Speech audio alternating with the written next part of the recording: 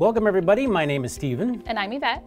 And today we are in the last of our series entitled The Illustrated Gospel. And today's message is called uh, Fight to Live. This has been a great series. It's been wonderful to be able to connect with you guys. And if you've missed any of this series in Timothy, you can always go back to our YouTube page and catch the last four of these and get all caught up and just be uh, able to share with other people what we've been able to go through. It's been great.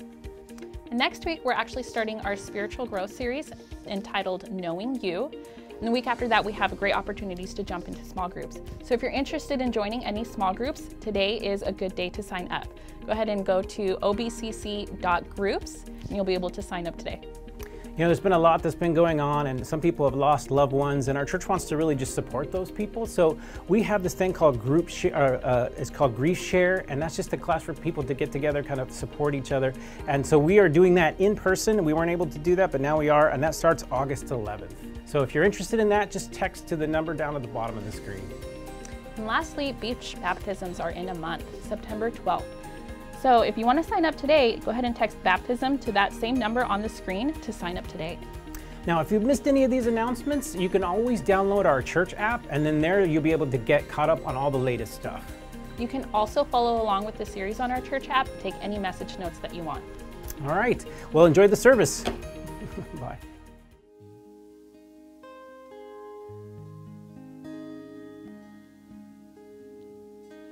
Welcome this week, I wanted to share with you guys a song that many of you may know if you grew up in the church in the 90s. Um, it's a song called Above All. And I grew up singing that song, and then one day I was at a worship conference when I was in high school, and Paul Baloche, who wrote the song, was explaining how that song came to be. And he had been trying to write this upbeat anthem, you know, above all powers, above all kings above all nature and all created things. And when it came to the chorus, he just couldn't find it. He didn't know where to go, and, and the song just wasn't working. And so he had a friend that he passed the song off to and said, Can you help me with this chorus? And um, when they met up again, this friend of Paul's had changed where the song was headed. So instead of going from above all kingdoms and above all thrones to a triumphant chorus, the turn was crucified, laid behind a stone. And it just about knocked him to the floor. And when I heard that story as a teenager, it just about knocked me to the floor too. I was like, wow. The God who really is, is above everything, who, worth is immeasurable. Crucified, laid behind a stone. And um, so if you know the song, sing along or pray the song. Um, yeah, let's worship together. Above all powers,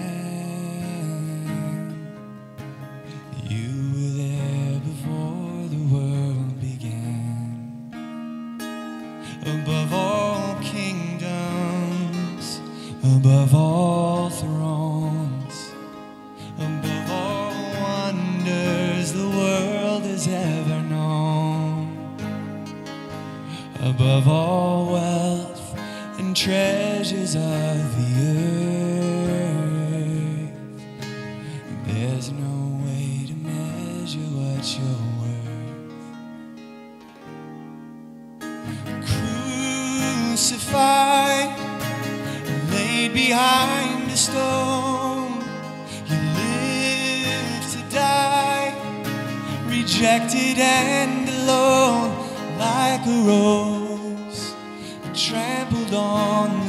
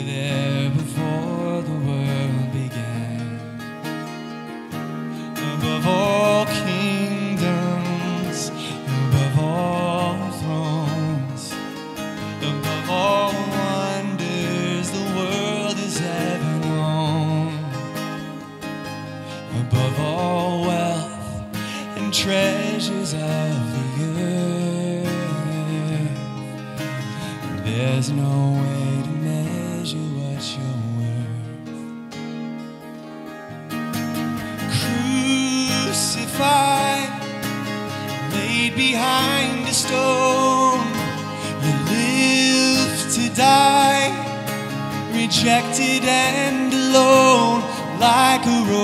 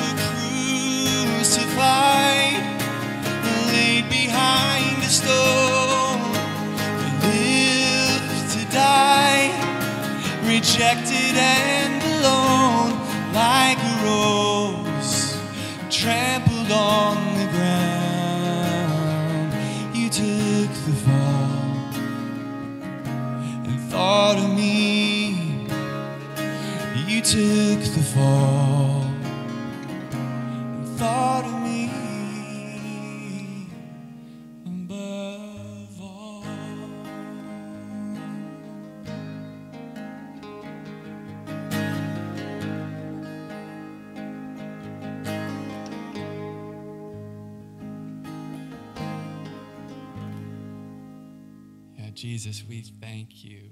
Uh, we thank you for the cross, God. That even though you had all authority and you were perfectly content, you didn't need us, but you chose us. And God, we're just reminded that there's nothing that we can give to you that will add any value to who you are. Um, Lord, it's all a gift. We are humbled. We just stand in awe of you. The one who died to save us. We call you King. We recognize your power and authority over our lives. And we pray that you would come and just take over every area of our hearts and our minds and our lives and, and anything that's going on in our world, God. We love you. And we pray this in the mighty name of Jesus. Amen. Giving back to the Lord is a way to express our trust. It says in Proverbs, Trust in the Lord with all your heart, do not depend on your own understanding. In all your ways, acknowledge Him, and He'll direct your paths. I love this, and I think it's so true of our finances. When we put God first, when we give Him the first of our income, when we give Him our time, our talent, and our treasure, He does so much more than we can imagine. So much more. He does it here in town in Corona, He does it in the greater area in California through the people that are serving Him. He does it globally. So I would just encourage you guys go to the website, find a good place to give to, whether it's to the missions, to the building fund. We certainly are praying for uh, things happening down the property, uh, down south in Temescal Canyon. Uh, you can give to the tithe directly, but let's express thanks and faith in God in this way. Let's pray. Lord, thank you so much that you've given us all that you've given. Help us to be faithful stewards. Lord, all the things you've given aren't ours to keep, they're yours. And we just pray that you would take what we have, whether we're giving it to you directly in this way, or whether we're giving it to the people around us, or whether it's things we're investing in. Lord, I just pray that you would just help all that you've given us, all of our resources, help it to build your kingdom. Use it to bring your praise and your glory in this city and in this nation and in this globe. And we do pray for the missionaries who are out, that they're building your kingdom there. I pray that more and more people would be coming into your glorified, restored, heavenly kingdom. And when we see that wonderful city we're looking forward to, Lord, that there will be people there with you from every tribe, nation, and tongue. Thank you that we can have a small part in that and give to that today. Pray in Jesus' name. Amen.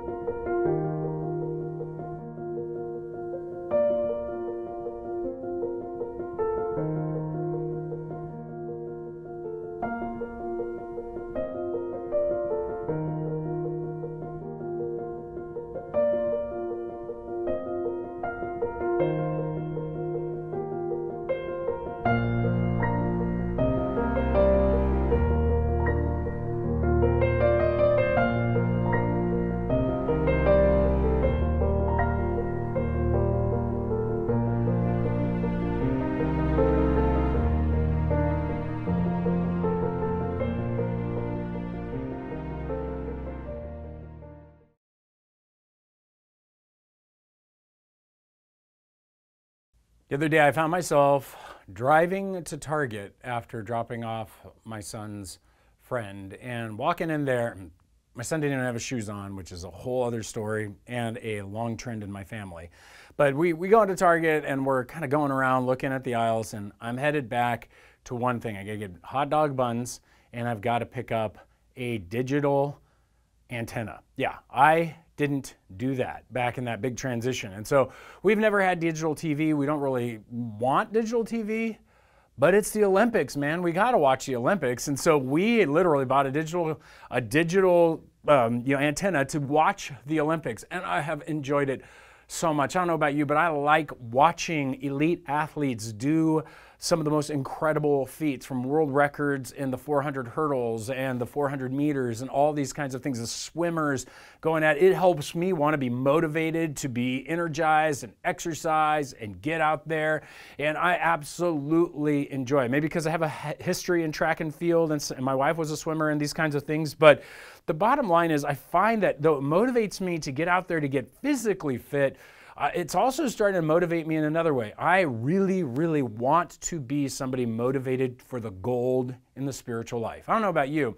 I want to go for everything. I don't want to just have a mediocre spiritual life. I don't want to just kind of show up in heaven and go like, "Hey God, thanks for saving me." You know, what's next? I, I want to have a passion for Him. I, I want to honor Him. I want to see Him use us all greatly.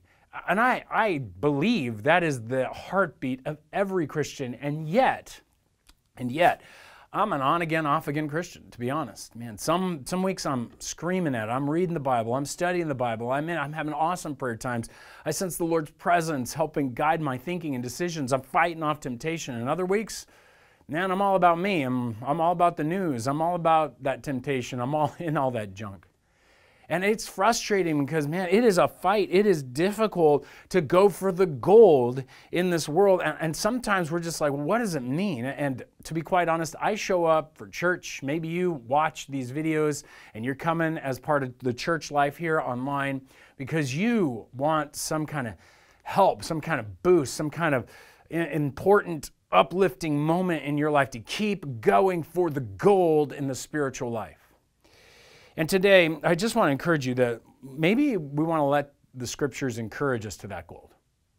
I think that we can just open the word today and allow that to, to motivate us because I think that's what Paul was trying to do. So, would you be willing to open your heart up, willing to allow the scriptures to encourage you today to get back on track, to get back moving towards the goal, get back towards Jesus? And if that's you and you're with me, man, we're going to close this series out with a bang because I'm excited to just uh, dive into this final push, exhortation from Paul to Timothy. It's found here in 1 Timothy chapter 6. And so if you have a Bible, you can go ahead and go there with me. And what we're seeing here is um, is we're going to start in verse 11. We're going to go down. We'll skip over a spot. So, just as a background, if you're joining us, maybe it's the first time you've been watching. Somebody invited you. Welcome for to uh, to Olive Branch, by the way. But um, you're new to your Bible. Well, First Timothy in the back half of your Bible, and what we've been doing is looking at a leadership book. This book is the leadership book of the Bible, one of three of them. And Paul, the apostle, a great leader, a great church planter, is training his protege in how to clean up the church and to point to good, healthy ways of living, but without losing their faith and removing false teachers. In fact, it's a focus on the teachers because as the leadership goes, so goes the church. And as we look at this, we realize that that means Timothy in this book is a model for the Christian life. That you and I are to live a life, a Christian or non Christian, in a model that matches this with the same kind of love, the same kind of care, the same kind of passion to illustrate the gospel of Jesus Christ in this world. And I want to encourage you guys to, to let Paul's final exhortation call you to that gold, call you to that great living, call you to that great illustrating of the gospel. And so we're going to go for the gold, we're going to find out the first thing we're going to be challenged to is this in 1 Timothy is to go for the gold in the gospel. Let's let's let's pursue great character then. Let's push after great character. And he starts this way. If you want to look at there, verse 11 it says, "But as for you, O man of God, flee these things. Pursue righteousness, godliness, faith, love, steadfastness, gentleness. We looked at this briefly last week. I want to dig into it now. First and foremost, he tells us, "Oh man of God, this is this is something that all of us can be. You can be a person of God.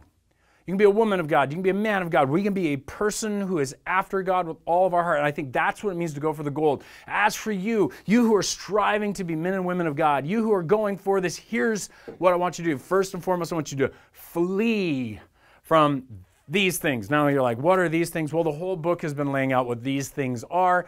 Um, the entire series in First Timothy, which goes back all the way to last November and further, is this opportunity for you and I to dig in and see that we need to flee first and foremost heresy. We need to flee any false teaching that points us away from Jesus, away from His gospel, because these things destroy the gospel. And you can't illustrate the gospel and you can't live that ultimate life if you don't believe the things of the gospel. And so we need to be ready and willing to say, hey, you know there's some things in my mind and my heart that come from the world that don't match with the Word of God, and we need to test those things and flee from them, run from them. We need to flee from divisiveness in the church. We don't need to build up evil suspicions and fight each other like we talked about last week. We don't need to be dividing each other up because that's what the enemy wants. He wants disunity in the church, not a unity. We want to agree on the basics, have great conversations, and love on where we disagree, but we don't need to divide.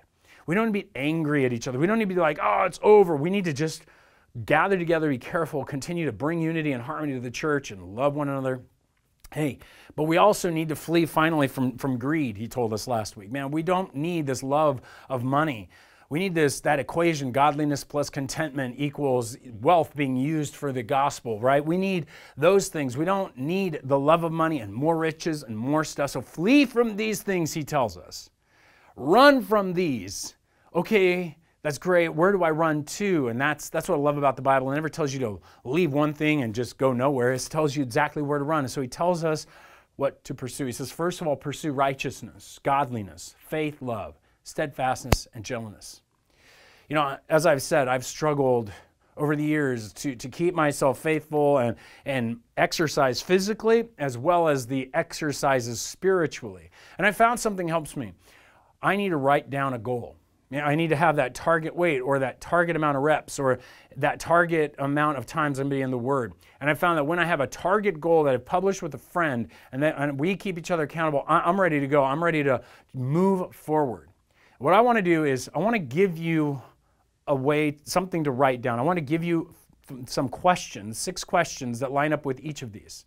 I'm going to ask you to have a pen ready. I'm going to ask you if you need to pause or whatever, get out your phone, open your notes, because what I want you to do is I want you to set an alarm so that every night, every morning, at some point in your day, you're asking these six questions to yourself. And you're writing down those answers and you're going to tell that friend, your spouse, or whoever, hey, this is what I need to work on. This is what I'm aiming at. Because I believe if we were just to, to see these things pour into our hearts, we're to pursue this kind of character, man, you'll be going for the gold. And so let's start with this.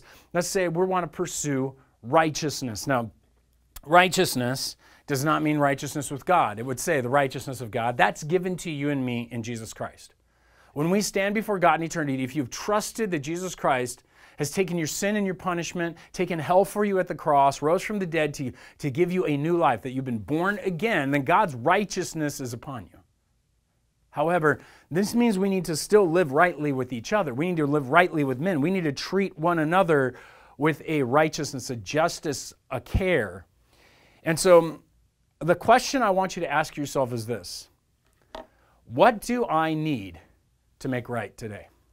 We've all done things that may have caused harm, caused injustice. We may have treated our wife or our children or our husband or our cousin or somebody on the street uh, inappropriately. We may have said mean words. We may have done wrong things on the internet. You need to stop yourself and while you've confessed these things to God, ask yourself, how do I make it right? What do I need to make right? Because that's to live righteousness and pursue that. Do it. It may be that you got to eat crow man, make the cookbook. You know, figure out how to do that in every way possible. But we need to ask ourselves, what do we need to make right?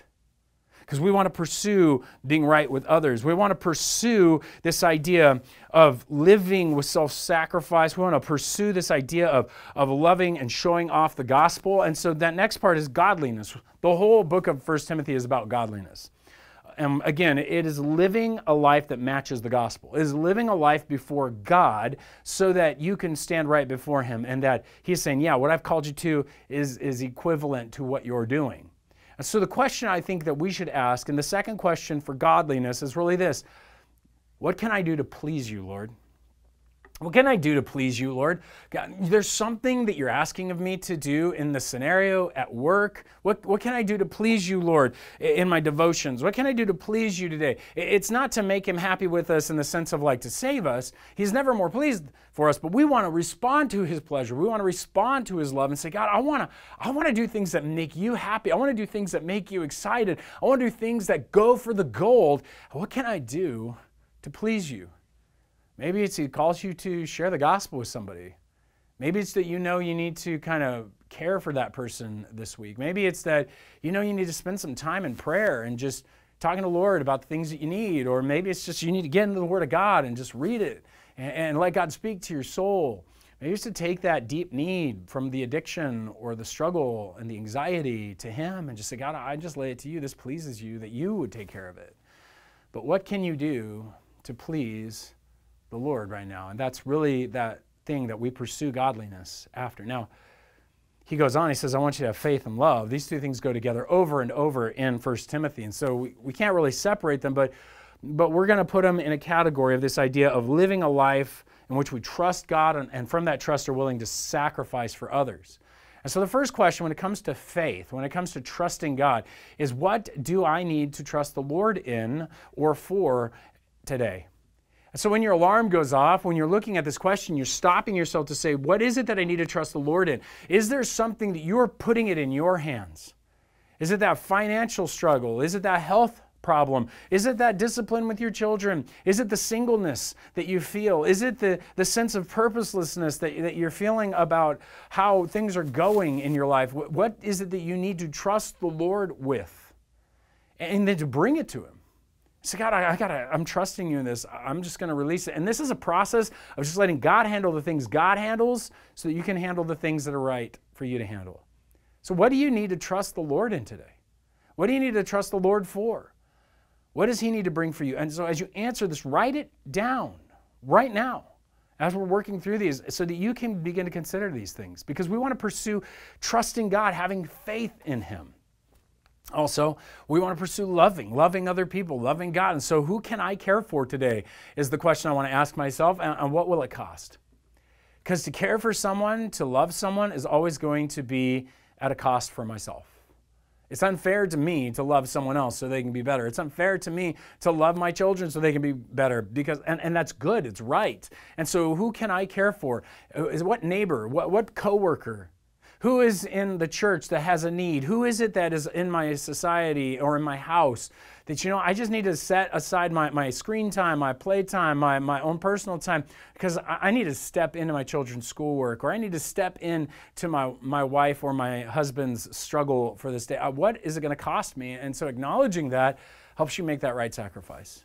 There are things that we can do every single day so that we can step into care for someone. And we need to write that down. Set those goals. We want to pursue the gold of love. We want to pursue the gold of faith. We want to pursue the gold of this idea of endurance because the next question really is how do we bring steadfastness, endurance into our lives? And the question that you need to ask yourself what is it I need to not give up on? There are things right now the enemy is calling you to give up on. You shouldn't give up on your marriage. Don't give up on your marriage. What is it that you need to not give up on? Right now, maybe it's that child. You don't want to stop pursuing that child. Don't give up on that devotion. Don't give up on that exercise. Don't give up on that diet. Don't give up on these things. And yet, right now, your body, your life is screaming to quit, quit, quit. If it's a godly thing, don't stop. What is it that you don't need to give up on? And ask the Lord, show me, reveal that to me, and then ask Him for the endurance. Ask Him to train in you steadfastness. It takes grit, it takes muscle. This is what enables us to go for the gold. This is what enables us to keep pursuing and moving forward. If we don't have that endurance, man, we're not going to form this character. And so, God, help me stay on track today. What is it that I need to not give up on that I'm so ready to quit on? And then the last one, because we want to be a people who honestly are loving. The last one is gentleness. And what's interesting is this term basically means to have, be mild, uh, to, to not be harsh with people, to not be overbearing and uh, power upon them. And so the question I want to ask ourselves is with whom and with what do I need to calm down? right? Where do I just need to calm down? Who do I need to just calm down with? And I'm a I'm a parent of teenagers and I pretty much can answer this question at any moment of the day when I'm having to do discipline or something's bothering me. So often when I see my kids, I see something that is, is like me that I don't like, and I need to calm down. Maybe I need to calm down with myself. Maybe you're too harsh with yourself, constantly pounding yourself and beating yourself up for the things that you've done wrong. Maybe if God's calling you to be gentle with others, maybe He's calling you to be gentle with yourself. So let's ask this question with whom and with what do I need to calm down? Write it down. Ask God to give you the, the power and the patience and the love to be able to have this fruit in your life, this character, because it's this character enables us to pursue the gold. It's this character that pushes us to press forward and to, and to reach out. And can you imagine what a church would be like if we had this char- these characteristics, if everybody knew someone they were going to care for, if everybody was being gentle, if we had this faith that God was going to provide for us. So we weren't striving for the money, we weren't running after these things, but we had this godliness in which we were doing things to please God because we loved to please Him, that we, we knew that we did something wrong, we were making it right. Can you imagine what a church would be like? Can you imagine how magnetic it would be to bringing people to Jesus? Can you imagine how your life would be and how magnetic it would be if this is the kind of thing that you were doing? Because the church is made up of people. As the leadership is supposed to do this, so the people we're supposed the church is supposed to do that. That means you and me, we are supposed to be people of this kind of character. Pursue it. Go for the gold, guys. Don't give it up. This is going to be awesome if we see it, but it means one thing. It means that there's a struggle, there's a fight that we're going to have, and that's exactly what we see. To go for the gold in the gospel, we let's at least fight for the best life. Let's get in in the struggle. We're going to go for the best life, we're going to go for the gold, we're going to go for the ultimate thing, showing off the gospel and illustrating it, man. There's going to be a wrestling match for the eternal life. There's going to be a wrestling match to have that best kind of life. There's going to be a, a fight so that we stay in it and we experience what God wants us to experience. And so I want to show you how this comes out because I believe that God calls us to something that's great. Everybody at some level loves a deep struggle. You say, no, we don't. Yes, we do. We watch movies about deep struggles. We celebrate people who've overcome deep struggles. That's why we watch the Olympics. These people didn't make it there because they were just naturally talented. They struggled. Some of them fought through asthma and all these kinds of stuff, right, to become world champions. There's always a good struggle. And we don't want to be called to something small, we want to be called to something great.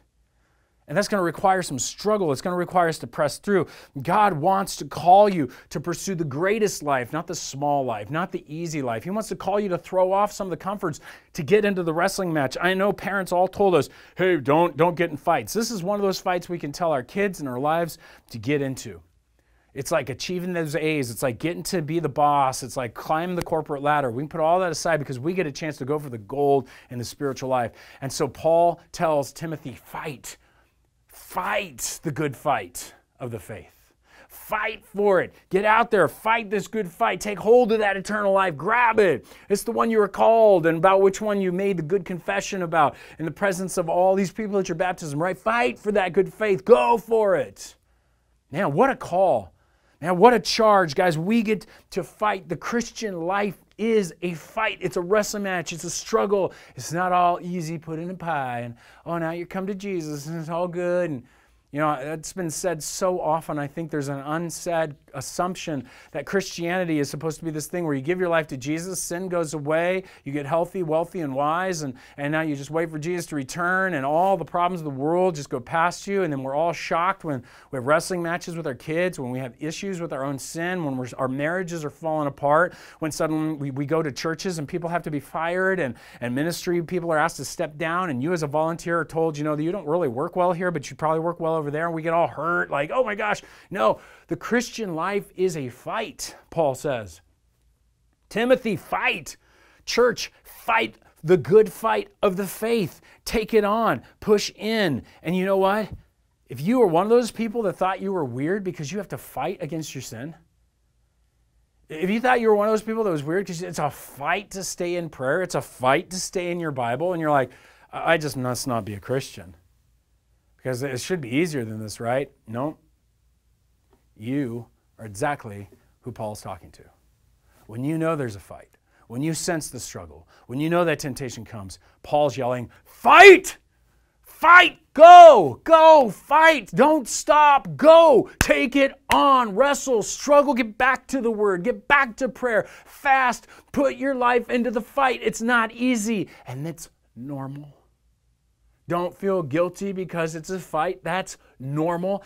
Everyone is fighting unless they gave up. And then I would say that's a question that you need to struggle with. Why did we quit? One friend told um, um, Stephen years ago, he's, he walked up to him and he's like, I don't struggle with sin because I just gave into it. That's the opposite of a Christian and those who are walking in the faith. The, the Christian is walking in the faith, and that non Christian there now who is who's there has set it aside. And so we need to fight for that faith. We need to fight to keep going in that faith. We need to fight to stay in that faith. And you go, Well, time out, Greg. What do you mean stay in the faith? I thought you couldn't lose your salvation. Well, I want to be careful in the answer of this because there are really a lot of answers to the question, but let's just put it this way. In the Bible, there are really a couple perspectives. And when it comes to your salvation, as God looks at the world in all of his eternity, God's perspective is those who are saved will never leave. Those who are saved will never leave. He knows all the heart motivations, he knows everything, he knows the whole story. So, once saved, yeah, always saved. But from the human perspective, let's just be honest for a minute. From our perspective, we don't know motivations, we don't know who people are, we don't know anything, we don't know the beginning and the end. When God talks directly to us in time, in our place, He says, fight. He says, stay. He says, persevere. He says, go for it. You need to fight for your faith. This is what He tells Timothy at the end of the book. Down here at, at verse 20, He says, Oh, Timothy, guard the deposit entrusted to you. Well, that's odd. Why would we need to guard the gospel that's been given to us? He says, Avoid the irreverent babble and contradictions of what is falsely called knowledge, for by it, check this out, for by professing it, some have swerved from the faith. They left. Over and over and over again, you're going to read in 1 Timothy, you go back and look, of people who were pierced and lost their faith, who, who ran away, who took on this stuff, and their faith was gone because they didn't guard, they didn't fight, they didn't see that the Christian life is a wrestling match to persevere to the end of your life, to stay faithful all the way through, to get moving. And so we want to be honest about the fact that there have been many people who have gone to Olive Branch over the years who are no longer walking with Jesus. And I know it.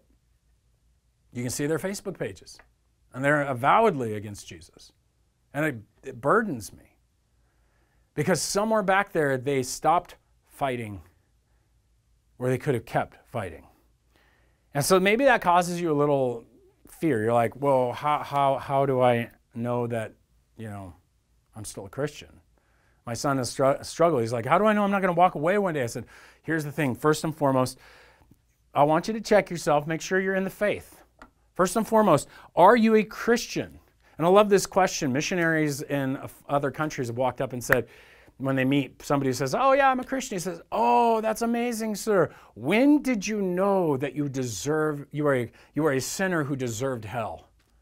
When did you come to the realization that you were a sinner who, who offended God and, and that you needed to make it right with Him? When did that happen for you? And he sees that person is ready to tell him, oh, this was the day that that happened, and this is what he's like, oh, that's a Christian. But when they go like, I don't know what you're talking about. I mean, I just grew up in a church, and I've always been this way. And he's like, whoa, whoa, whoa. Do you know that you've offended God? You need a you need an atoner, the one who's going to bear your sins on the cross. And so, hear me for a minute. Maybe you can't answer when you came to realize that you were a sinner who offended God and you deserve hell. Maybe you're going, I don't deserve hell. Then guess what? You're not a Christian. Every Christian knows they deserve hell. Every single one knows that they have offended the holy and righteous creator of their life and this world, and they want to please him. They don't know how, and they want to be right with him. And yeah, they don't want to go to hell, but they want to be right with God. There's suddenly a transformation in the soul when we receive Jesus. We go, oh, not only am I saved from hell, I want to live for God. He saved me. I love him. He made this world. This is incredible. That heart change, that transformation is what you're looking for. Check yourself.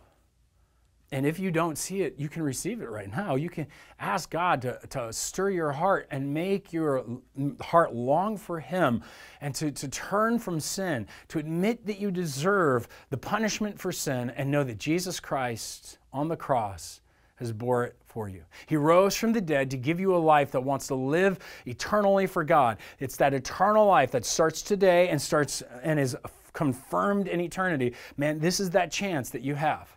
You can receive it right now. Don't, don't even hesitate. Don't even listen to the rest of the message.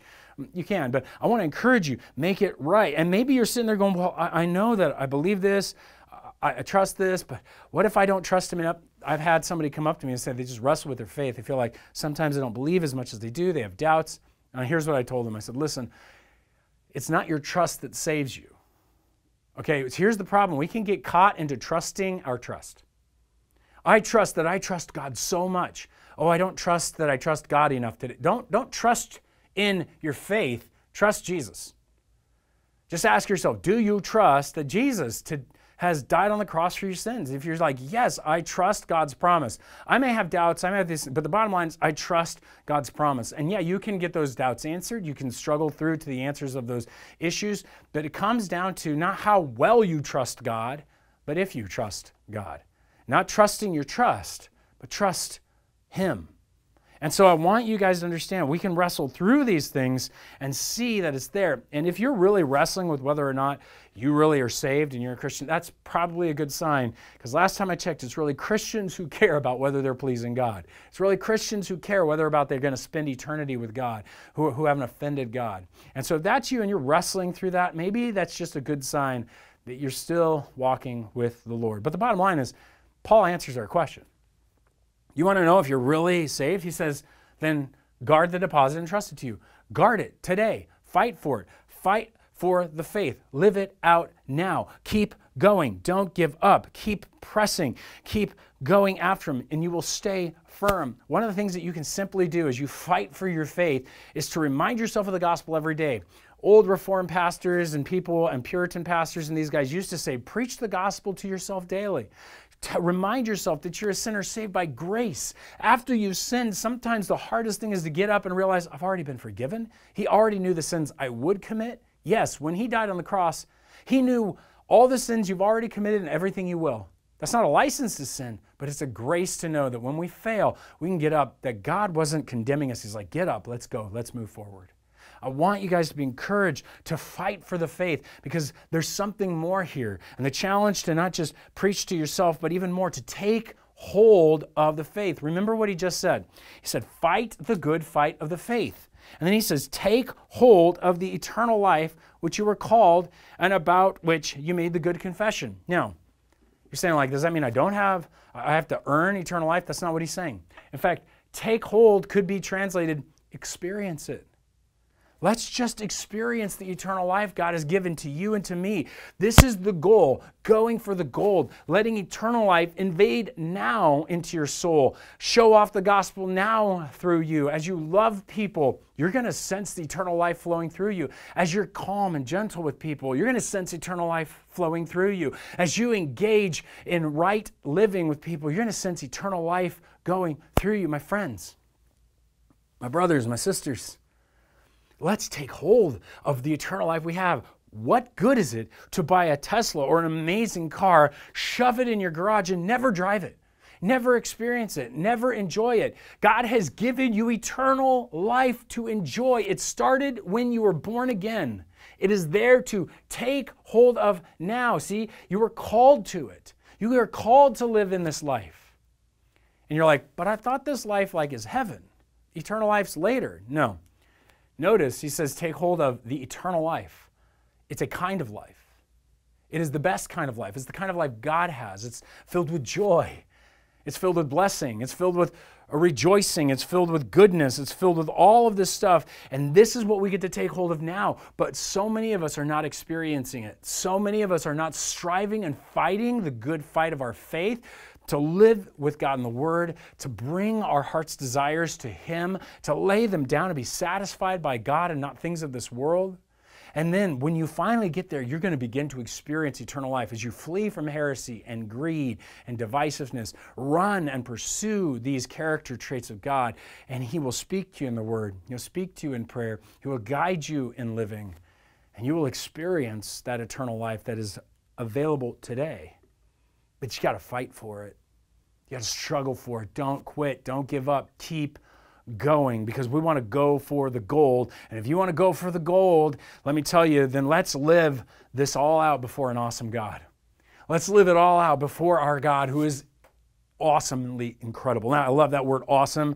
It always reminds me of, um, you know, uh, the, the Ninja Turtles. Awesome. You know, that, that one of those words just kind of showed up in our culture in a weird way, but awesome has a great sense to it. And look, we have a calling from God that we should live before that awesome God. In fact, that calling is what we've just gone over to live out eternal life, to have that kind of character that we're pursuing. We just say it this way to live or to love Christ, to live for Christ, to share Christ, to allow that, that gospel to be so full of you, it's living out of you. And as you love Christ, you're living for Him, you're going to share Him, that, that becomes an eternal life thing that you're doing. And so we want to call you to this calling. You have a calling. And not as maybe that specific one will come out of this general calling we all have that Paul has just laid down. But then he charges us. He charges Timothy. He says, I charge you in the presence of God, before this awesome God who gives life to all things. He'll give you that eternal life that you long for. He's the one who gives it to you, so live it in front of him. And of Christ Jesus, who in his testimony before Pontius Pilate made the good confession, which is that Christ is Lord, that he said, I am the Lord, I am the Christ, right? That's our confession we make as we're baptized. He says, I charge you then to keep the commandment. That's all these things to flee and to pursue and to be engaged with this fight unstained and free from reproach. Man, let's just keep going. Don't give up. Let's do it as best as we can until the appearing of our Lord Jesus. That's when we stop, when Christ comes, when Christ returns, when He takes you home. That's when we come, because He is the one who will display it at the proper time. And so we have this challenge, this call to go, to not quit, to not give up, and to do it in the presence of this awesome God. I keep using the word awesome, and I referenced it a little bit. But the best place I've ever noticed awesome is when I approach the Grand Canyon or come out of the tunnel at Yosemite. There is something about walking up to the Grand Canyon when you stand and you're kayaking in the ocean, that there is this immediate, sudden, overwhelming sense of this is so much bigger than me. On one side, I can't stop staring at it. On the other side, I can't stop wanting to be so careful because it feels so deadly. Our God is a multiplier of that.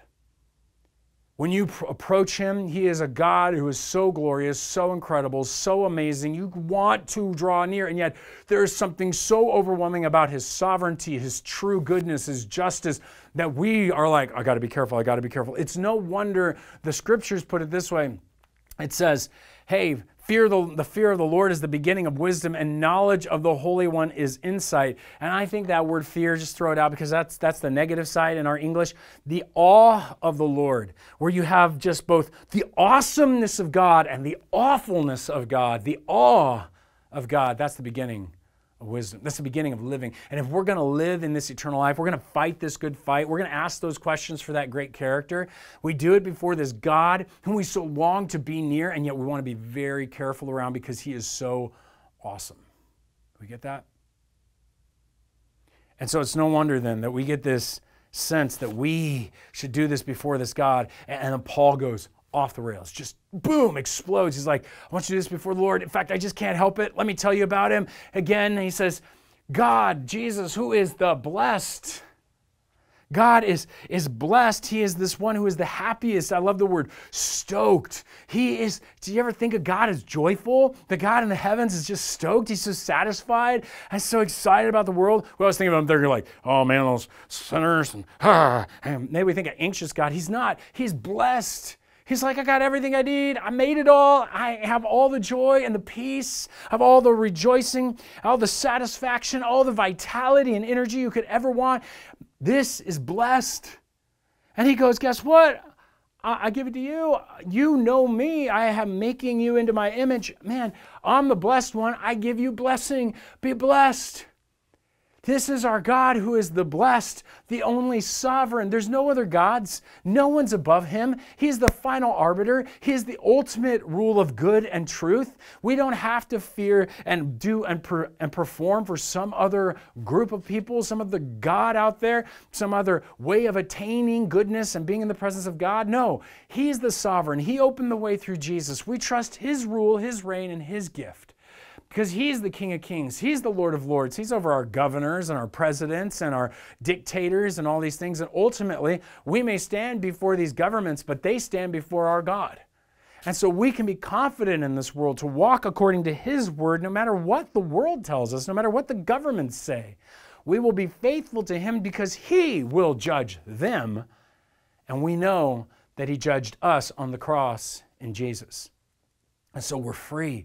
We can celebrate that He's the King of Kings. He is the Lord of Lords. He is the last arbitrator. He is the final judge. And that He is the one who alone has immortality. Death can't touch Him. He's never going to die. He's been alive. He is the grounding for reality. He's why we can know truth. Guys, He is the immortal one and He gives us life. So, what we see here now is we don't have to fear somebody's going to kill God. You're not going to get like in the Golden Compass books and we're going to go kill Yahweh. That's all that ridiculous silliness. He's the immortal God. Death can't touch him. He rose from the dead and he's given to you and to me eternal life. And as we've trusted Him, death can't touch us. This is who we live life in front of, the one that we cannot destroy. He is with us always. He dwells in unapproachable light. He is so good and so pure and so beautiful. He's attractive to us and yet so powerful. We can't approach. It's too much. And yet, here is the boundary of all moral good. And we're like, man, you can do whatever you want. You know, no, God says this is this is light, this is beauty, this is good, this is truth, this is how we should live. And I shine it and we go, oh, it's too much. And yet it's so attractive. He is the pure moral standard. We don't have to make anything up. He gives us what we need. We are going to stand before Him. And yet, right now on earth, this is the one who has never been seen or can see. And yet, we know that Jesus Christ is God on earth. And this unapproachable light has come to be seen. And this one who has never been seen, John tells us, he has revealed God to us as one who has sat at his bosom, who's known him intimately.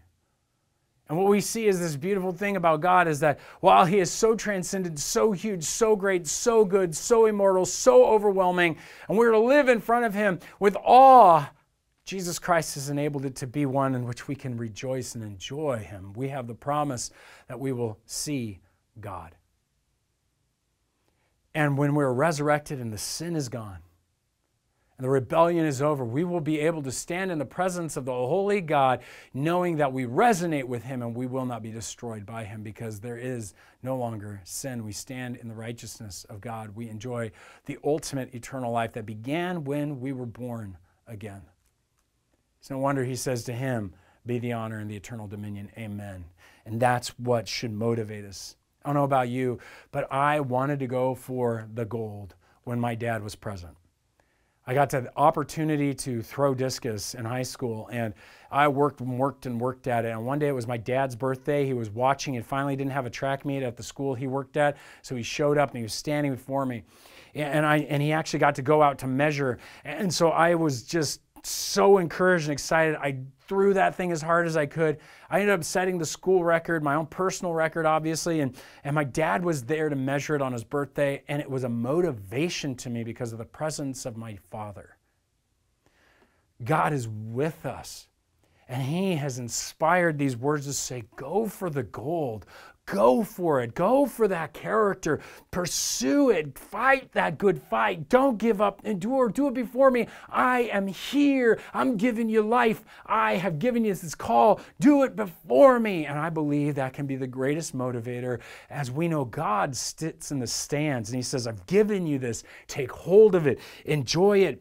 Don't quit. Go for the gold. Not when people leave your life, not when you've been insulted, not when you've got the wealth and the riches of the world, not when everything is perfect, not when times are hard, not when times are simply and easy and your marriage is good, but then not when your marriage is failing, not when your kids rebel, and not when they give their lives to Jesus. Don't quit. Don't think that it's over. Keep fighting. Keep going when your house burns down, when everything goes bankrupt, when they've got you locked in chains and they persecute you and they throw you before lions and they want to kill you. Don't quit. Stand with the church in history who has been faithful to endure. Let's go for the gold. Wage the warfare. Fight the good fight. Pursue the character. It is ours to take hold of. Eternal life is here in Jesus Christ, and you can have it. My encouragement is go. Go for the gold. Father, I just ask that you would help us to be the people who pursue pursue this character. That we become a people who are ready to take hold of eternal life, fighting that good fight, not giving up. Thank you for the encouragement. We want to do this before you. You who has given us life, you who has given us all that we need, we want to do this before you. Oh Lord, help us to go for that gold every single day. In Jesus' name, amen. Hey, this is me encouraging you with the same fingers I give right now. So, and this is uh, from our curriculum that we formed called Knowing You. This is our small group series, the time of the year where we press into spiritual growth and call you guys to gather in groups. And this series is exciting. And the point that we're trying to make here is often what happens to me. I'll try to type in a destination that I want to go to, but my GPS hasn't caught up to where I am. So it tells me like the wrong directions and sends me in these random places. It tells me I got five hours left. And the point is, you can't figure out where you're going until you know where you are. And in the spiritual life, it's the same. You can't know what God's calling you to do if you don't know yourself. We're going to go into six weeks of how the Bible calls us and shows us how to know who we are. The world has lots of ways to figure out your identity, personality, and all your value and all this stuff, and all of them will lead you in circles and ultimately in despair. But the way of Jesus and the way of the Bible wants to help you discover who you are so that you can make appropriate plans and goals to grow spiritually in the next years because you know yourself. You've got it figured out. So that's what we're going to be doing. We're going to be doing it in groups. So we want to encourage you. Maybe you have a couple friends that are around you that you think, hey, they don't have a group, we don't have a group. Why don't you encourage you to start a group? And the best way you can do that is simply invite them over and then let us know. And you can get on at obcc.group. That's obcc.group. And we'll give you all the information and curriculum so you can facilitate this opportunity of a new small group at your house and with your friends. Look, you got questions, let us know. We want to encourage you forward. It doesn't have to be difficult, and we give you the curriculum and all the direction. And you can connect with us at obcc.group, and we'll help you out. We're just glad you'd even consider it. Pray for this. We're excited about where we're going, and uh, we would love to connect with you. God bless you, and we will see you guys next week.